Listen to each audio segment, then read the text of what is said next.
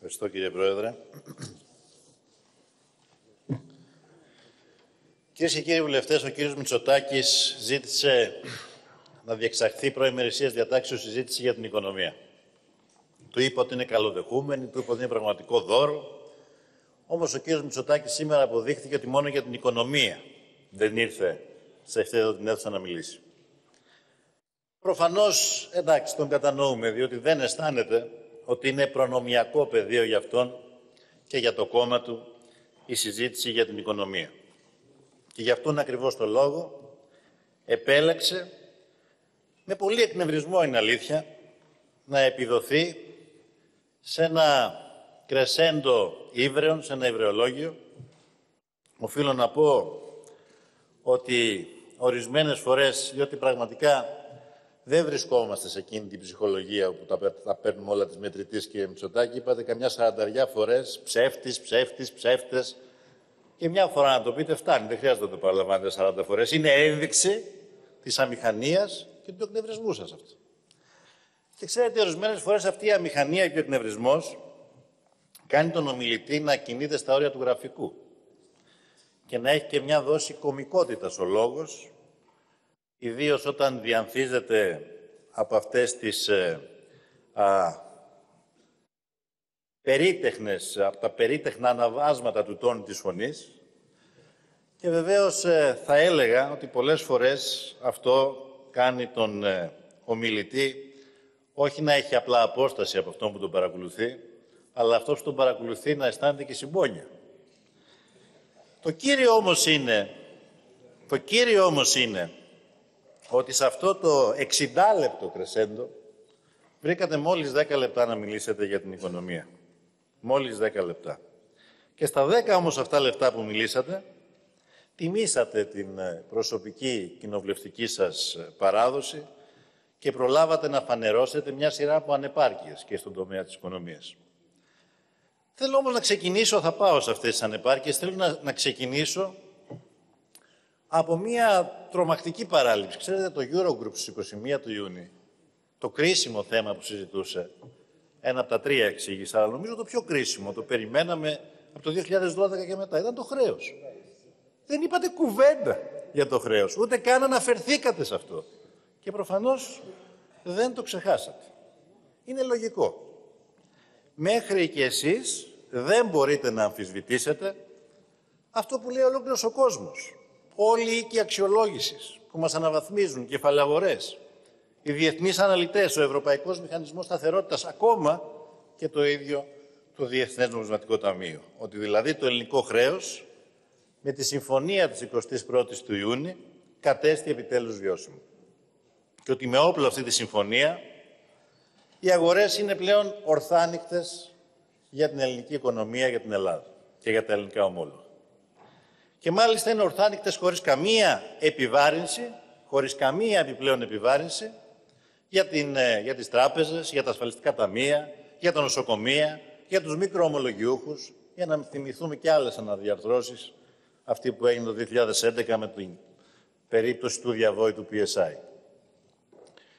Ο κύριος Μητσοτάκης μίλησε όμως για τα πλεονάσματα που συμφώνησε η ελληνική κυβέρνηση. 3,5% μέχρι το 2022 και 2,2% στη συνέχεια. Μας είπε πόσο καταστροφικά και πόσο περιοριστικά είναι αυτά τα πλεονάσματα για την ελληνική οικονομία. Θέλω όμως να επισημάνω μερικά πράγματα εδώ. Υπάρχει αλήθεια κανείς σε αυτήν εδώ την αίθουσα που διαχειρίστηκε τα χρόνια της κρίσης, διαπραγματεύσεις που αφορούσαν την ε, πορεία του προγράμματος, τη βιωσιμότητα του ελληνικού χρέους και την πορεία του προγράμματος υπάρχει κανείς αυτή εδώ την αίθουσα και περιλαμβάνω και τους απόντες που διαχειριστήκανε γιατί δεν είναι εδώ οι εκπρόσωποι της κοινωνικής ομάδας του Πασόκ. Υπάρχει κανείς που να πέτυχε κάτι καλύτερο; Αν υπάρχει, αν υπάρχει κανείς που πέτυχε καλύτερα από αυτά τα πλεονάσματα, να σηκώσει το χέρι του και να μας εξηγήσει. Και να πει εγώ πέτυχε. Εγώ δεν θυμάμαι, κύριε Μητσοτάκη, να πέτυχε κανείς κάτι καλύτερο. Αντιθέτως θυμάμαι ότι στην κυβέρνηση που εσείς συμμετείχατε, είχατε συμφωνήσει πρωτογενή πλεονάσματα 4,5% μέχρι το 18% και μέσω όρο 4% μέχρι το 31%. Το αμφισβητείτε αυτό; Δεν μπορείτε να το αμφισβητήσετε γιατί είναι πραγματικότητα. Και γι' αυτό θα έλεγα ότι είναι δείγμα θράσους να έρχεστε και να μας κάνετε κριτική για το ύψος των πλεονασμάτων. Παρουσιάσατε όμως και ένα πολύ ενδιαφέρον διάγραμμα. Αναφέρθηκε ο κ. Τσακαλώτος σε αυτό το διάγραμμα και μάλιστα το κατέθεσε και στα πρακτικά εξηγώντας ότι θα έπρεπε να το καταθέσουμε εμείς για να περιγράψουμε τα δικά μας, για να ισχυριστούμε τα δικά μας επιχειρήματα. Αναρωτιέμαι, κύριε Μητσοτάκη, αυτό το ωραίο διάγραμμα το δανειστήκατε από τις ειδήσεις του ΣΚΑΙ που βάζουν κατά καιρούς διαγράμματα για την πορεία της ελληνικής οικονομίας αντεστραμμένα; Εγώ, κύριε Μητσοτάκη, θα ήθελα να καταθέσω την πραγματική εικόνα. Και η πραγματική εικόνα είναι αυτή. Η πραγματική εικόνα, ναι, είναι μαύρη γιατί είναι τα χρόνια που κυβερνήσατε, κύριε Μητσοτάκη. Γι' αυτό είναι μαύρη. είναι τα χρόνια που κυβερνήσατε και συρρυκνώσατε το ΑΕΠ της χώρας συνολικά κατά 25 μονάδες. Και όχι τα τεχνάσματα τα δικά σας, όπου παρουσιάζετε όχι το ρυθμό του ΑΕΠ, το ρυθμό μεταβολής του ΑΕΠ. Και να σας παρουσιάσω βεβαίως και μια πιο ευκολοδιάβαστη εικόνα, που είναι αυτή εδώ, και αφορά, κύριε Μητσοτάκη, το γεγονός ότι το 2009 το ΑΕΠ μειώθηκε 4,3%, το 10 5,5, το 11 9,1, μετά το 12 ναι, πήγαμε στο 7,3, δεν πήγαμε στο 9,1 ευτυχώς, μετά μείον 7,3. Μετά το 13 πήγαμε στο 3,2, δεν μείναμε στο μείον 7. Αυτά είναι τα κατορθώματα όπου συνολικά αν τα αρθρήσουμε έχουμε μείον 25%, μείον 25% το καθάριστο εικόνα προϊόντος, δηλαδή ησυχία. συρρυκνώσατε τον εθνικό πλούτο κατά το 1 τέταρτο και έχετε το δράσος να έρχεστε εδώ σε αυτήν εδώ την αίθουσα και να μας παρουσιάζετε και διαγράμματα. Παρακαλώ. Το 2014 είχατε μια οριακή αύξηση, ναι, οριακή αύξηση, Είχατε μια οριακή αύξηση. Σταματήστε, τι κάνετε, πάνελ είναι εδώ πέρα, σας παρακαλώ.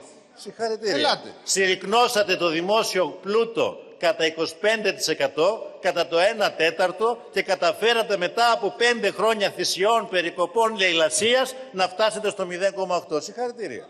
Αυτό θέλω να σας πω. Συγχαρητήρια.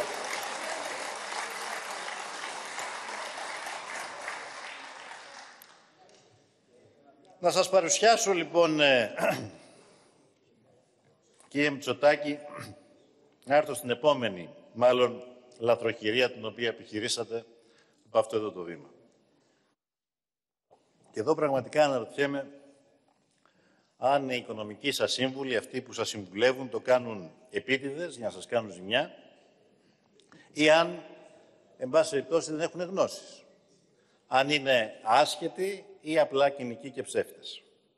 Διότι είπατε για πολλωστή φορά, και από αυτό εδώ το βήμα ξανά, τα έχετε ξαναπεί όμως, και σας έχουμε διαψεύσει, σας έχουμε δώσει τα στοιχεία, σας έχει απαντήσει ο κ. Τσακαλώτος. Είπατε ότι το χρηματοδοτικό μαξιλάρι ύψους 25 δισεκατομμυρίων ευρώ έχει προκύψει από τα πρωτογενή πλεονάσματα και από τη στάση πληρωμών προς το ελληνικό δημόσιο. Ψέματα επί ψεμάτων. Ή λάθη επί λαθών. Ένα από τα δύο πρέπει να διαλέξετε. Ή τζάμπα πήγε το Χάρβαρτ, ή έχετε εδώ επιλέξει ένα σκόπιμο ψέμα. Να σας ενημερώσω λοιπόν ότι το χρηματοδοτικό μαξιλάρι προέκυψε από δύο πηγές. Από τις εκταμιεύσεις του ESM, σκοπίμως μεγαλύτερες από τις ε, δανειακές ανάγκες της χώρας, από την αποπληρωμή των δανειακών αναγκών της χώρας, καθώς και από τις εξόδους που έχουμε πραγματοποιήσει τις δοκιμαστικές στις αγορές χρήματος την προηγούμενη χρονιά όσο για την περιβόητη στάση πληρωμών του ελληνικού δημοσίου.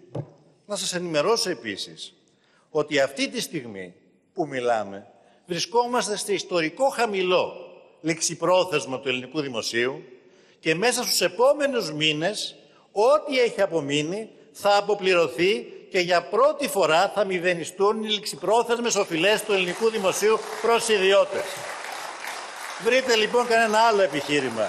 Πάει αυτό σκούριασε η στάση πληρωμών. Πάμε όμως παρακάτω. Διότι μεγαλύτερη σημασία από τα ψέματα και τις λαθροχειρίες του κ. Μητσοτάκη νομίζω ότι έχει και το πολιτικό του σχέδιο για τη χώρα. Μας είπε λοιπόν ότι έχει διαπραγματευτικό στόχο να μειώσει τα πλεονάσματα αφού θα έχει προκαλέσει ένα δημιουργικό σοκ στην ελληνική οικονομία. Ενδιαφέρουσες λέξεις.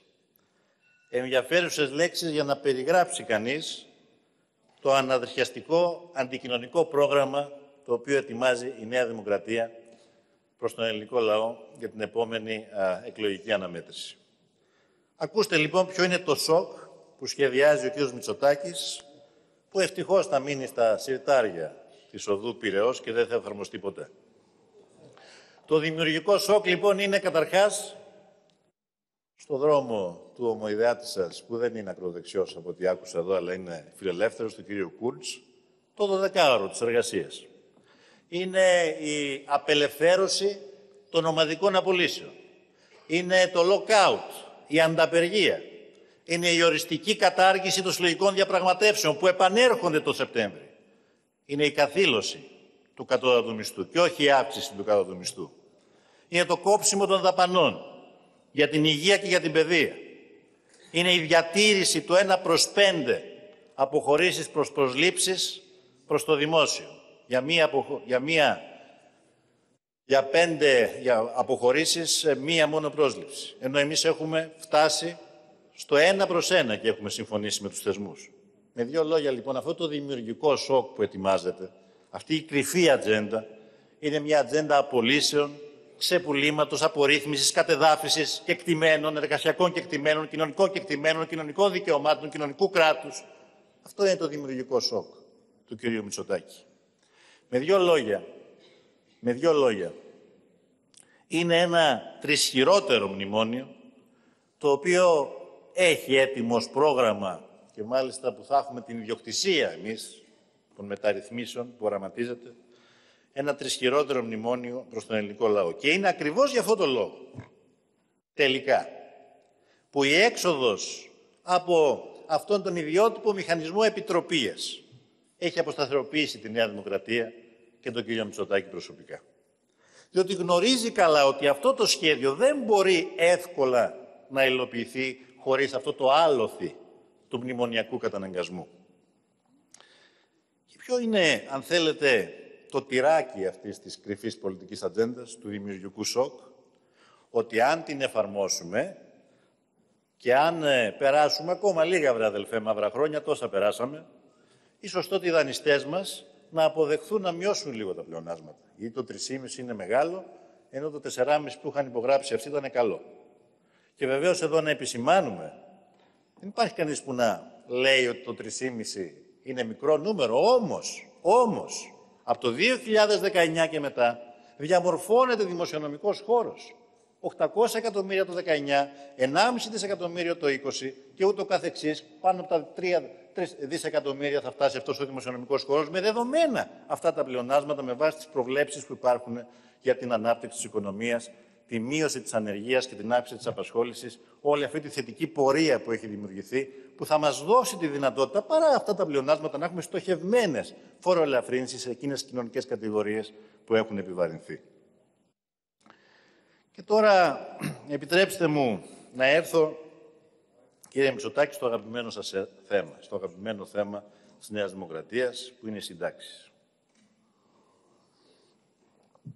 Δεν θυμάστε μάλλον ότι όταν εμείς διαπραγματευόμασταν με το Διεθνές Νομισματικό Ταμείο, ήσασταν ε, εσείς που απαιτούσατε εκείνες τις μέρες, όταν το Διεθνές Νομισματικό Ταμείο πίεζε με τις γνωστές του θέσεις και απαιτούσε τις αχρίαστες δημοσιονομικά περικοπές, ήσασταν εσείς και τα στελέχη σας, που κάθε τρεις και λίγο έχω μαζέψει 19 τοποθετήσεις σας, 19 τοποθετήσεις σας, δημόσιες, εκείνον τον καιρό, που βγαίνατε και λέγατε κλείστε την αξιολόγηση, κλείστε την αξιολόγηση, δεχτείτε τα μέτρα, δεχτείτε τα μέτρα.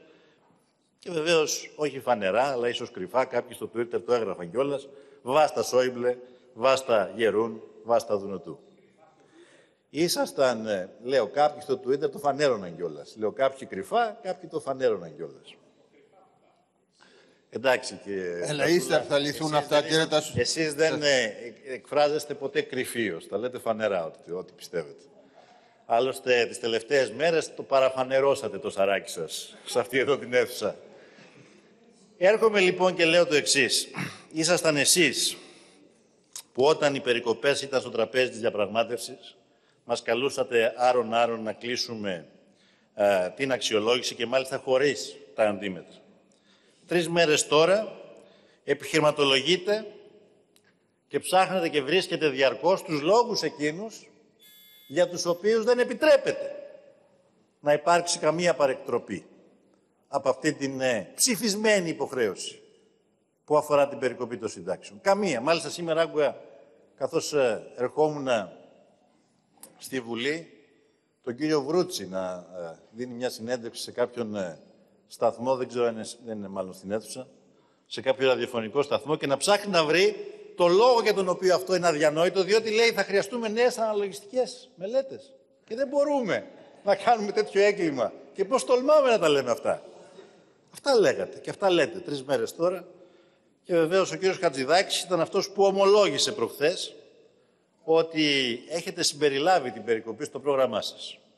Και έχετε βάλει βεβαίως και τους κονδυλοφόρους σας να γράφουν ότι δεν γίνεται η Ευρώπη να μας χαριστεί, διότι αυτό θα θέσει εκτός των άλλων σε κίνδυνο και τη δική σας προεκλογική καμπάνια. Και σήμερα, κύριε Μητσοτάκη, σήμερα, όταν φαίνεται ότι εκ των αντιδράσεων σας και μόνο, και όχι για τα δημοσιεύματα, θα πω και για αυτά, φαίνεται ότι σας έπιασαν με τη γίδα στην πλάτη, όπως λένε στο χωριό μου, έρχεστε και όταν βεβαίως έχει γίνει λίγο πολύ γνωστό α, ότι η θέση και η στάση σας είναι και απέναντι στους εταίρους μας, το είπατε εδώ, στον Μοσχοβησί, ότι δεν πρέπει να κουνηθεί ρούπι από αυτή την ε, εφαρμογή αυτής της περικοπής, έρχεστε και αντί να ζητήσετε συγγνώμη για τον κινησμό σας, έρχεστε εδώ και αρχίζετε τις υπεκφυγές. Δεν είχατε, λέει, συνάντηση με την κυρία Μέρκελ. Ήσασταν μαζί στην Σύνοδο του Ευρωπαϊκού Λαϊκού Κόμματος ή ήσασταν εσείς σε άλλη σύνοδο και αυτή σε άλλη σύνοδο; Μαζί ήσασταν. Δεν είχατε, λέει, συνάντηση με τον κύριο Ζεοχόφερ και άρα αυτό είναι το μεγάλο θέμα.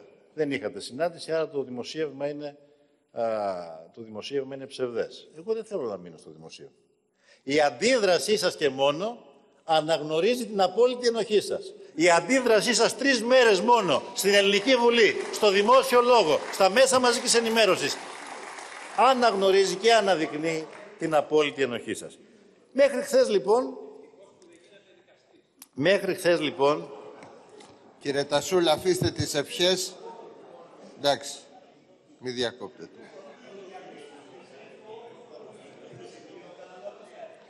μέχρι χθες λοιπόν, Μέχρι χθες λοιπόν ερχόσασταν εδώ και παριστάνατε εσείς τους δικαστές, τους δικαστές των ευρωπαϊκών θεσμών και τους κριτές της νομιμοφροσύνης της ευρωπαϊκής κανονικότητας και τους επιβάλλατε την τάξη. Και σήμερα όμως ήρθατε εδώ να παριστάνετε τον Τζάμπα Μάγκα και καταθέσατε μια τροπολογία που στην πραγματικότητα πρόκειται για τρυπολογία, δηλαδή για μια τρύπα στο νερό μέχρι χθες θεωρούσατε δεδομένη την περικοπή. Λέγατε δημόσια την δέσμευση της χώρας, εγκαλούσατε το Μοσχοβησί. Τώρα είδατε την τρύπα, την τεράστια τρύπα στην προπαγάνδα σας και σπεύσατε να τρυπώσετε μέσα στην τρύπα. Επαναστάτες της κακιάς ώρας. Προσέξτε όμως, κύριε Μητσοτάκη, μη θυμώσει μαζί σας ο κύριος Χατζηδάκη, γιατί τον εκθέσατε σήμερα, κύριο Χατζηδάκη, με αυτά που είπε προχθές. Λοιπόν, να σοβαρευτούμε. Ακούστε. Οι συνταξιούχοι, κύριε Μητσοτάκη, δεν είναι ποντίκια για να χωθούν σε αυτή την τρύπα, που σπεύσατε εσείς να χωθείτε σήμερα με την τρυπολογία σας. Είναι άνθρωποι με περηφάνεια, με μυαλό, ξέρουν ποιοι είναι αυτοί και με ποιο τρόπο τους καταδίκασαν στη φτώχεια με 12 συνεχόμενες περικοπές των συντάξεών τους από το 2010 ως και το 2014 και δεν είναι καν σπασμωδική απόπειρα απάτης η τροπολογία σας. Είναι η επιτομή της γελιότητας και του κινησμού σας. Γιατί παίζετε ενού παικτής με τις δυσκολίες και τις προσδοκίες χιλιάδων απόμαχων της δουλειάς που αν μη τι άλλο αξίζουν το σεβασμό μας. Και σας το λέω, κύριε Μητσοτάκη, από αυτό εδώ το βήμα. Μη βιάζεστε. Το πικρό αυτό ποτήρι θα το πιείτε γουλιά-γουλιά και σιγά-σιγά μέχρι το τέλος. Μη βιάζεστε. Όλα στην ώρα τους. Ο, τυχοδι... ο τυχοδιοκτισμός όμως του κυρίου Μητσοτάκη δεν περιορίζεται στα θέματα της οικονομίας. Είναι βεβαίως ε, στα θέματα της οικονομίας έχουμε οδηγείται την παράταξή σας από το ένα στραπάτσο στο άλλο, αλλά νομίζω ότι ο τυχοδιοκτισμός είναι βασικό χαρακτηριστικό και στο μεγάλο θέμα, όπως είπε και ο Κλήτης ο Τσακαλώτος πριν, το κρίσιμο θέμα της εποχής μας, το μεγάλο θέμα της διαχείρισης αυτού του παγκόσμιου φαινομένου, της διαχείρισης του προσφυγικού. Σας ξέφυγε πριν από λίγο, κατά τη διάρκεια της πρωτομιλίας μου, και ομολογήσατε τον ε, με θαυμασμό ομολογουμένως ότι ο Ούγγρος Πρωθυπουργός πήρε κοντά στο 49%. Αυτό ακριβώς είναι το μοναδικό σας κριτήριο για αυτό το θέμα. Η ψηφοθυρία.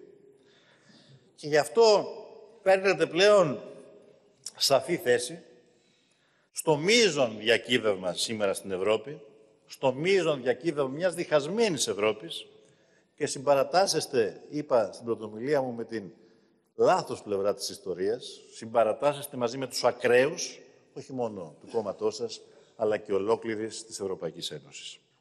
Ταυτίζεστε, δεν ξέρω αν το καταλαβαίνετε ή όχι, με την πιο ακραία, σοβινιστική, αντιμεταναστευτική και θα το πω ξεκάθαρα, αντιευρωπαϊκή πρόταση για τη διαχείριση της προσφυγικής κρίσης. Δεν ακούτε ούτε καν τις μετριοπαθείς φωνές μέσα στο Ευρωπαϊκό Λαϊκό Κόμμα που ζητούν ευρωπαϊκές λύσεις για το μείζον ευρωπαϊκό πρόβλημα της διαχείρισης του προσφυγικού.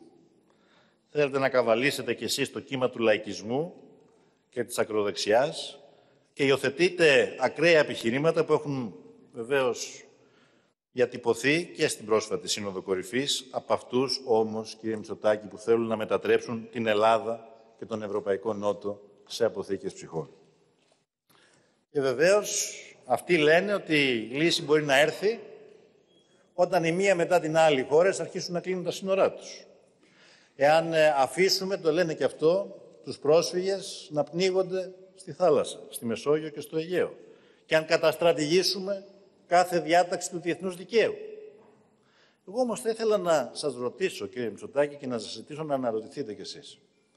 Έχετε αλήθεια σκεφτεί ότι η ταύτισή σας με αυτές τις ακρέ... ακραίες δεξιές θέσεις για το ζήτημα του προσφυγικού στην Ευρώπη, στο τέλος της ημέρας είναι και μια ταύτιση με όσους έχουν θέσεις ενάντια στα συμφέροντα της πατρίδας μας. Αντιλαμβάνεστε ότι υπερασπιζόμενος τα επιχειρήματα της ακροδεξιάς επί της ουσίας φέρνετε την χώρα μας μπροστά στον κίνδυνο να κληθεί από άλλους ομοειδεάτες σας να αντιμετωπίσει κάποια στιγμή το προσφυγικό μόνη της. Διότι δεν γίνεται στο εσωτερικό να υιοθετείτε επιχειρηματολογία Κούρτς, αλλά να λέτε ότι στο εξωτερικό ζητάτε ευρωπαϊκές λύσεις. Και τα δύο δεν γίνονται.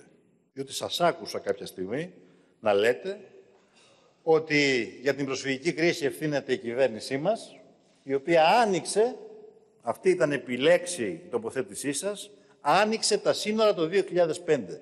Αυτή ακριβώς, κύριε Μητσοτάκη, είναι επιχειρηματολογία και το κατηγορητήριο του ΕΕΦΔ στη Γερμανία ενάντια στην καγκελάριο Μέρκελ. Την κατηγορούν διότι το 2015 άνοιξε τα σύνορα στους πρόσφυγες, τα σύνορα της Γερμανίας. Ακριβώς αυτή τη θέση υιοθετείτε. Και δεν γίνεται να υιοθετείτε αυτή τη θέση και αμέσως μετά να σπέβετε να μας πείτε ότι δίνετε μάχες εσείς στο Ευρωπαϊκό Λαϊκό Κόμμα απέναντι στον κύριο Όρμπαν. Έρχομαι για λίγο και στο ζήτημα το αγαπημένο σας και αυτό τελευταία της συμφωνίας με την πρώην Ιγκοσλαβική Δημοκρατία της Μακεδονίας. Εκεί να δείτε λαϊκισμός. Κοιτάξτε κύριε Μητσοτάκη ότι η Ελλάδα και όλη η Ευρώπη γνωρίζει και το γράφουν πια έγκυροι αναλυτές, ο διεθνής τύπος, ότι γίνατε όψιμα μακεδονομάχος από ανάγκη για να μην σας διασπάσουν το κόμμα σας οι γνωστοί πατριδοκάπηλοι οι οποίοι έχουν χτίσει την πολιτική τους καριέρα πάνω στο ζήτημα αυτό από το 1992, είναι γνωστό. Δεν θέλω να επεκταθώ άλλο με τις παλινοδίες σας το ζήτημα αυτό. Τα είπαμε άλλωστε και άλλη φορά σε αυτό εδώ το βήμα, στη συνεδρίαση την ψήφο εμπιστοσύνη.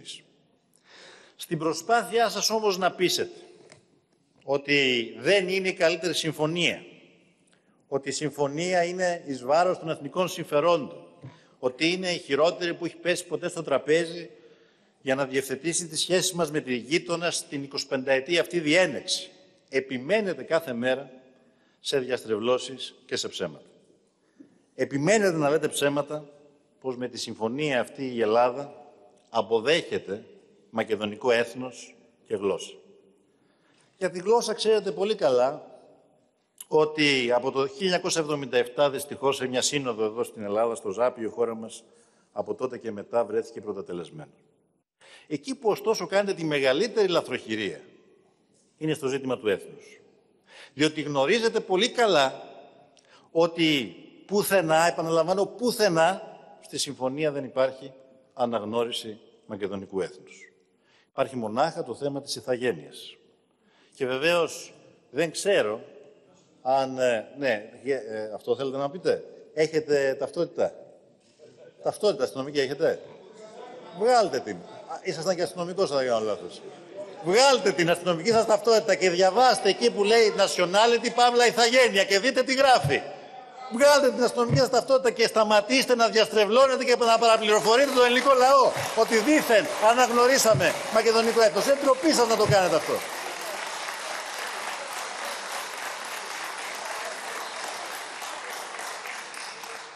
Αλλά κάνετε αυτές τις μέρες ότι δεν έχετε ακούσει ίσως το πιο ενδιαφέρον σημείο όλων όσων έχουν ακουστεί το τελευταίο διάστημα πάνω στο ζήτημα αυτό.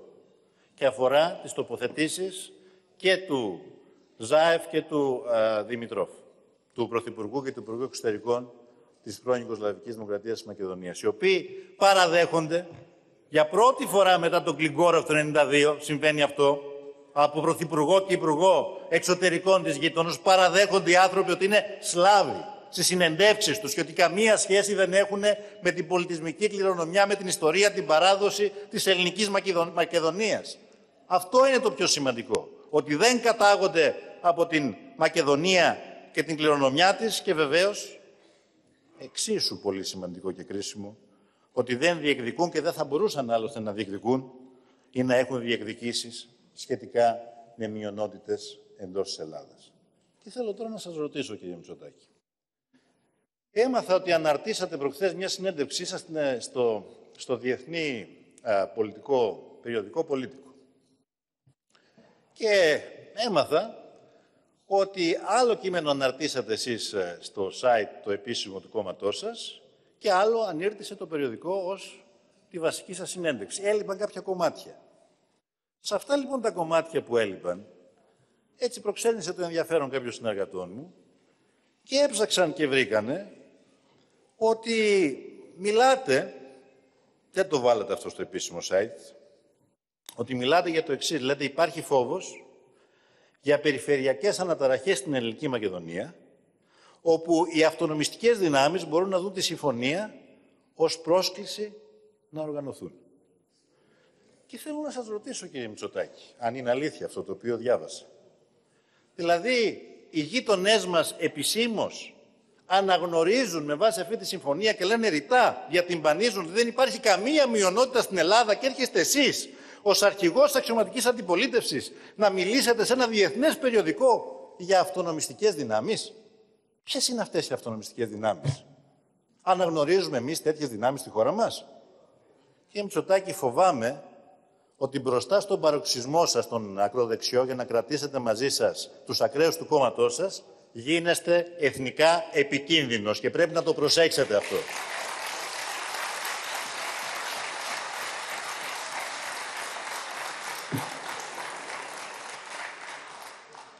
Και έρχομαι τώρα στα θέματα εκείνα στα οποία υψώσατε πολύ τη φωλή.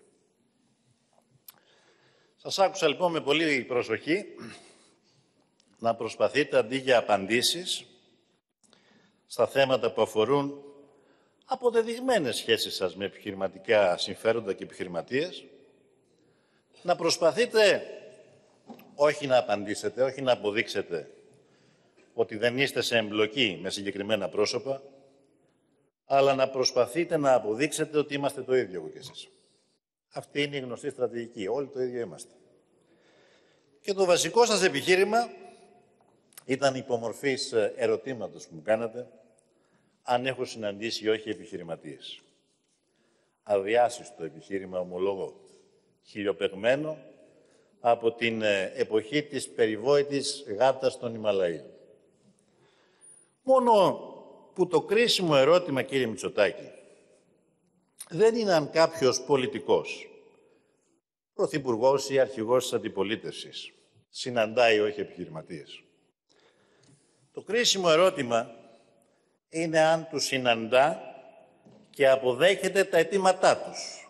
Το κρίσιμο ερώτημα είναι αν τους συναντά και μετά πολιτεύεται προκειμένου να υπηρετήσει τα συμφέροντά τους. Το κρίσιμο ερώτημα είναι αν τους συναντά και τους κάνει τα χατήρια έναντι ανταλλαγμάτων στήριξης. Κάνατε λοιπόν το βήμα. Ήσυχα παρακαλώ. Ήσυχα, μην βιάζεστε. Κάνατε λοιπόν το βήμα σήμερα και αναφερθήκατε και σε ονόματα. Πολύ ενδιαφέρον.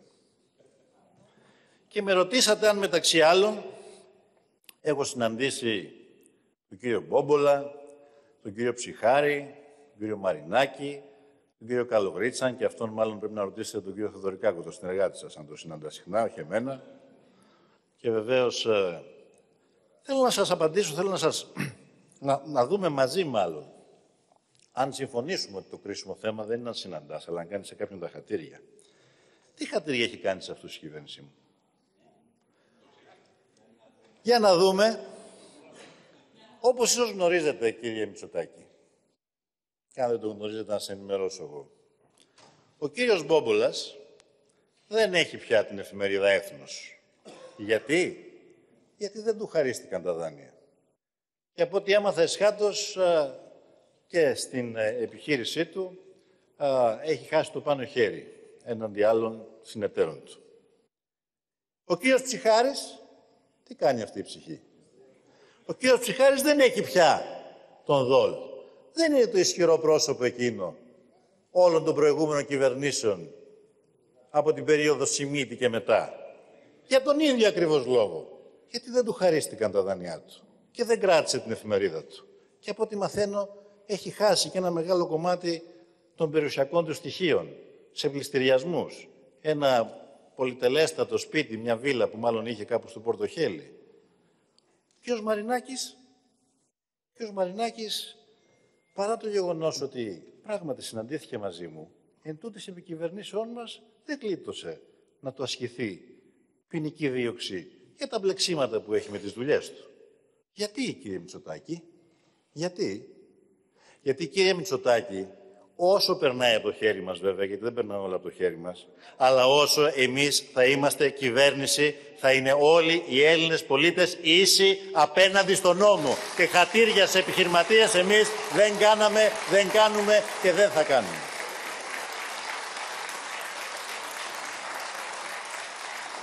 Έχετε αλήθεια εσείς τη δυνατότητα να έρθετε μετά από μένα σε αυτό εδώ το βήμα και να ισχυριστείτε το ίδιο. Κάντε το αν έχετε. Μπορείτε να ισχυριστείτε εσείς κύριε Μητσοτάκη ότι όταν ο κύριος Χριστοφοράκος για λογαριασμό της Siemens σας ε, πλήρωνε, σας αγόραζε ακόμα και το τηλεφωνικό κέντρο στο γραφείο σας, εσείς και η κυβέρνηση την οποία υπηρετούσατε δεν εξυπηρετούσε τα συμφέροντα της Siemens και του κυρίου Χριστοφοράκου; Μπορείτε να το ισχυριστείτε. Μπορείτε να ισχυριστείτε το ίδιο για τον κύριο Φρουζή και την Οβάρτης. Ότι δεν τους βοηθούσαν οι κυβερνήσεις σας να διατηρούν υψηλά τις τιμές των φαρμακευτικών τους σκευασμάτων. Μπορείτε να ισχυριστείτε το ίδιο για τον κύριο Μαρινάκη, που φτάσατε στο σημείο σε επίκαιρη ερώτηση εδώ στη Βουλή της Νέας Δημοκρατίας, να αναγράφετε επισήμως, το κόμμα σας να αναγράφει, ότι είστε τόσο δεμένοι μεταξύ σας, που αν πληγούν τα δικά του οικονομικά συμφέροντα, πλήττεται ο αρχηγός της αξιωματικής αντιπολίτευσης. Αν μπορείτε αυτά να τα ισχυριστείτε, ισχυριστείτε τα. Εδώ είμαστε. Είμαι ανοιχτός να ακούσω απαντήσεις. Κύριε Μητσοτάκη, όμως, ό,τι και να πείτε, δεν μπορείτε να πείσετε. Για έναν απλό λόγο, που νομίζω όλοι τον καταλαβαίνουν, όλος ο ελληνικός λαός. Για τον απλό λόγο ότι δεν είμαστε το ίδιο και φαίνεται αυτό. Έχουμε άλλη διαδρομή, έχουμε άλλο ηθικό φορτίο και μην προσπαθείτε να κάνετε τέτοιου είδους συγκρίσεις, δεν θα σας βγει σε καλό. Και για να τελειώνουμε με αυτό το ανέκδοτο. Μια και με προκαλέσατε. Αν δεν με προκαλούσατε, θα έμεινα στην οικονομία. Τι να κάνω. Να τελειώνουμε όμως με αυτό το ανέκδοτο. Σταματήστε, κύριε Μητσοτάκη, να παρουσιάζετε τον εαυτό σας ως δήθεν θύμα της κακόβουλης δημοσιογραφίας. Των ε, δημοσιευμάτων που δήθεν κατευθύνονται από το Μαξίμου και από μένα προσωπικά. Και ότι δήθεν όσα βλέπουν το φως της δημοσιότητας και αφορούν οικονομικά της οικογένειάς σας ή της συζύγου σας, είναι παραβίαση της προσωπικής σας ζωής και του προσωπικού σας απορρίτου. Και χτυπήματα κάτω από τη μέση. Έλεος. Αφήστε τη αυτή την καραμέλα. Ποσός μας ενδιαφέρει σε ό,τι αφορά εμάς εδώ, φαντάζομαι την πλειοψηφία του ελληνικού λαού, η προσωπική σας ζωή, κύριε Μητσοτάκη. Ποσός μας ενδιαφέρει. Είστε όμως δημόσιο πρόσωπο. Μην το ξεχνάτε αυτό. Όπως και εγώ. Όπως και εγώ. Είστε αρχηγός αξιωματικής αντιπολίτευσης, διεκδικείτε να γίνετε πρωθυπουργός. Εγώ το κατάφερα. Και από τότε είμαι δημόσιο πρόσωπο και βεβαίως είμαι υποχρεωμένος να δέχομαι και την κριτική και το σχόλιο. Φανταστείτε λοιπόν κυρίες και κύριοι συνάδελφοι, κάνω μια υπόθεση. Φανταστείτε, φανταστείτε. Αν εγώ, είτε ως αρχηγός της αντιπολίτευσης παλαιότερα, είτε ως πρωθυπουργός σήμερα, αρνιόμουν να παρουσιάσω το πόθεν έσχεση που αφορά τις δραστηριότητες της συζύγου μου.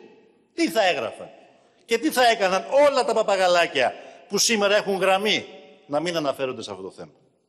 Φανταστείτε αν η σύζυγός μου είχε εταιρεία offshore, χρεοκοπημένη, που τη χρηματοδοτούσε με κοντά ένα εκατομμύριο κάποιος άγνωστος επιχειρηματίας μέσω offshore, η οποία offshore είναι η ίδια που έδωσε 8 εκατομμύρια στην εφημερίδα πρώτο θέμα. Τι θα έγραφαν, τι θα έλεγαν. Και αν μου ζητούσαν να αποκαλύψω ποιος είναι αυτός που χρηματοδοτεί τις επιχειρηματικές δραστηριότητες της συζύγου μου, και εγώ σιωπούσα. Επί μήνες. Τι θα έλεγαν αυτά τα παπαγαλάκια για μένα; Και τι θα λέγατε εσείς, όχι τα παπαγαλάκια, εσείς, που επί μήνες στήσατε στον τοίχο το φλαμπουράρι και το σταθάκι, γιατί, γιατί δήθεν δεν είχαν ορθό ποθενέσχες, όχι γιατί δεν κατέθεσαν, όχι γιατί απέκρυψαν χρήματα, όχι γιατί δεν δικαιολόγησαν χρήματα, όχι γιατί είχαν κάποια ουσιαστική παρατυπία, αλλά γιατί έτσι σας βόλευε τότε; Να στήσετε στον τοίχο δύο ανθρώπους που αποδείχθηκε ότι ήταν αθώοι. Τι θα λέγατε για μένα εσείς αν τα είχα εγώ αυτά; Φανταστείτε λοιπόν κυρίες και κύριοι συνάδελφοι, εγώ να είχα τέτοια ανοιχτά θέματα. Και όχι μόνο να σιωπούσα, να είχα το θράσος εδώ να κάνω και τον τιμητή. Φανταστείτε να είχα εγώ δάνειο 700.000 ευρώ και να είχα κάνει ρύθμιση με την τράπεζα Πυραιός να πληρώνω 3.000 το μήνα, balloon payment λέγεται αυτό, και τα υπόλοιπα στο τέλος. Αν και εφόσον. Φανταστείτε να είχα κάνει τέτοια προκλητική ρύθμιση αποπληρωμής. Όταν ο μέσος Έλληνας επιχειρηματίας σήμερα απειλείται με κατασχέσεις από τις τράπεζες. Αυτή είναι η πραγματικότητα. Γι' αυτό λέω κύριε Μητσοτάκη, αφήστε τα αυτά τα θέματα. Τι τα θέλετε τώρα και τα αναδεικνύετε. Άστο να πάει, δεν χρειάζεται, δεν χρειάζεται. Και δεν χρειάζεται γιατί κύριε Μητσοτάκη είστε ο ορισμός του όρου διαπλοκή στη σύγχρονη ελληνική πολιτική ιστορία. Αυτή είναι η πραγματικότητα. Και δεν μπορεί στο σπίτι του κρεμασμένου να μιλάτε για σκηνή. Πάμε παρακάτω και κλείνω με αυτό γιατί αυτό είναι το πιο ευαίσθητο θέμα για μένα και δεν μπορούσα να το αφήσω. Ασχολίαστο. Την ίδια στιγμή που μου ζητάτε να δείξω ευαισθησία και να μην σχολιάζω ζητήματα που αφορούν την επιχειρηματική δραστηριότητα της συζύγου σας, την ίδια στιγμή εσείς από αυτό το βήμα σχολιάσατε πριν από λίγο τις απόψεις και τα συναισθήματα της δικής μου συζύγου σε σχέση με το δημοψήφισμα του 2015. Ακούστε κύριε Μητσοτάκη. Είμαι και είμαστε όλοι εμείς βαθιά περήφανοι για τη στάση του ελληνικού λαού στις 5 του Ιούλη του 2015. Γιατί ήταν μια κορυφαία πράξη αντίστασης και όποιος λιδωρεί το συνέστημα ενός λαού είναι πολιτικά αλλά και ανθρώπινα ανεπαρκής και λίγος. Η 5η του Ιούλη είναι καταγεγραμμένη ως φως και δύναμη στην ιστορία του ελληνικού λαού. Και είμαστε περήφανοι. Είμαστε περήφανοι γιατί τολμήσαμε να φέρουμε στο προσκήνιο της διαπραγμάτευσης τον ελληνικό λαό. Και ακόμα πιο περήφανοι. Που όταν εσείς εκβιάζατε και τρομοκρατούσατε για να αποσπάσετε τον ναι του, εμείς δίναμε τη μάχη του όχι. Όταν εσείς αναφωνούσατε βάστα Σόιμπλε, εμείς στηρίζαμε την αξιοπρέπεια και την αντίσταση στον εκβιασμό. Το να έρχεστε λοιπόν τώρα εκ των υστέρων και να ζητάτε το λόγο για το πώς διαχειριστήκαμε το όχι του λαού που εσείς λυσαλέα πολεμήσατε είναι πολιτικό δράσος. Ο λαός ψήφισε στις 5 του Ιούλη του 2015, αλλά ψήφισε και το Σεπτέμβρη του 2015. Μην το ξεχνάτε αυτό. Και η ετοιμιγορία του εκφράστηκε στις κάλπες και είναι αυτή που σας έστειλε στα έδρανα της αντιπολίτευσης. Αυτή την ετοιμιγορία, κύριε Μητσοτάκη, όχι μόνο δεν επιθυμούμε να ξεχάσουμε, όχι μόνο δεν επιθυμούμε να ξεγράψουμε, όχι μόνο δεν επιθυμούμε να υποτιμήσουμε, αλλά αυτή την ετοιμιγορία την τιμούμε και θα, θα την τιμούμε. Γιατί δίχως αυτή την ετοιμιγορία, σήμερα δεν θα είχαμε καταφέρει όσα καταφέραμε να πετύχουμε. Δίχως αυτή την ετοιμιγορία, σήμερα δεν θα είχαμε καταφέρει να απαλλαγούμε από τα μνημόνια, δεν θα είχαμε καταφέρει να ανακτήσουμε την κυριαρχία μας, δεν θα είχαμε καταφέρει να ξαναγυρίσουμε τη διακυβέρνηση της χώρας στα χέρια των εκλεγμένων από τον ελληνικό λαό κυβερνήσεων. Αυτή είναι η μεγάλη μας ιστορική παρακαταθήκη. Και για αυτή τη μεγάλη ιστορική παρακαταθήκη σήμερα είμαστε περήφανοι. Και δυο φορές περήφανοι που τρία χρόνια μετά καταφέραμε και ανακτήσαμε την κυριαρχία μας και κοιτάμε στα μάτια και περήφανα αυτό τον ελληνικό λαό που στάθηκε όρθιος παρά τις απειλές, παρά τις προκλήσεις. Κάντε κι εσείς το ίδιο αν έχετε τα κότσια.